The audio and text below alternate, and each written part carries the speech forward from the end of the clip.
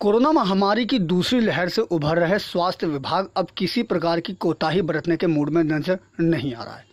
स्वास्थ्य विभाग ने कोरोना से निपटने के लिए तैयारियों में जुटा हुआ है। ज़िले में आने वाले प्रवासी मजदूरों को लेकर प्रशासन अलर्ट है। स्वास्थ्य विभाग ने बस स्टैंड पर ही डेला डाल रखा है। बाहर से आने वाले मजदूरों के स्वास्थ्य की मौके पर ही जाँच की जा रही है। स्वास्थ्य कर्मी प्रवासी मजदूरों के कोरोना सैंपल लेकर टेस्ट के लिए भेज रहे हैं। ज़िले में अब तक दर्जनों प्रवासी मजदूरों के सैंपल लिए जा चुके हैं जो बाहरी प्रदेशों से आए हैं। दरअसल धान रोपाई का सीज़न है। ज़िले में बड़ी संख्या में प्रवासी मजदूर धान की बिजाई करने के लिए यहाँ आते हैं। बाहरी राज्यों से आने के कारण मजदूर कोरोना संक्रमण के वाहक ना बने। इसके लिए स्वास्थ्य विभाग एहतियात बरत रहा है।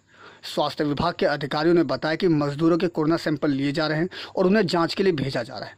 जो मजदूर कोरोना पॉजिटिव पाए जाते हैं, उन्हें आइसोलेट कर उनका इलाज किए जाने की व्यवस्था की गई है, ताकि संक्रमण को रोका जा सके। अभी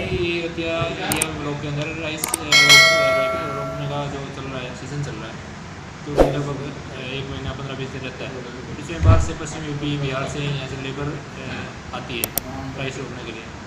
तो इस काबिल एस साहब को भी सूचना से अवगत कराया है कि सरपंच वगैरह को इनको बता के जैसे भी कोई बस भी कोई करके लेके आता तो हमें सूचना दी जाए ताकि उनकी सैंपलिंग हो सके और लोगों को अपने रतिया थे ताकि लोगों को कोरोना से बचाया जा सके। ऐसे ही सूचना मिली थी बस स्टैंड के ऊपर। कल चालीस, तीस चालीस मजदूर आए थे तो उनकी हमने सैंपलिंग करवाई है। कोई निकला नहीं पॉजिटिव वगैरह। तो उनको उनके जैसे भी जो भी लेके आ रहा था उनके साथ भेज दिया गया, वो खेत में अपने काम कर लेंगे। और जो भी अगर कोई पॉजिटिव आ जाता है तो उसको आइसोलेट क्वारंटाइन करेंगे। क्वारंटाइन करने के साथ उसकी दस दिन तक हम होम आइसोलेशन विज़िट भी करवाएँ टीम विज़िट करेगी और दवाइयाँ उनको प्रोवाइड करवा दी जाएगी।